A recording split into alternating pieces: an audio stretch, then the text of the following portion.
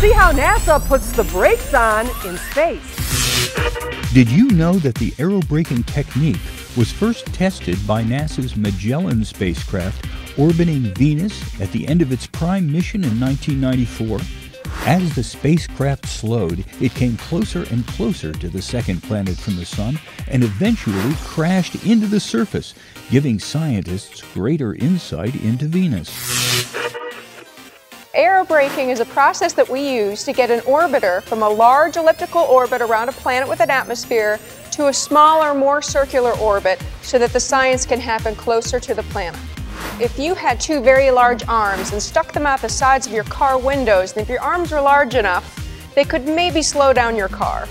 And it's very much the same principle as what we use at Mars. The spacecraft have two very large arms, or solar panels, and they put them right into the flow of the wind so that they drag the spacecraft through the atmosphere.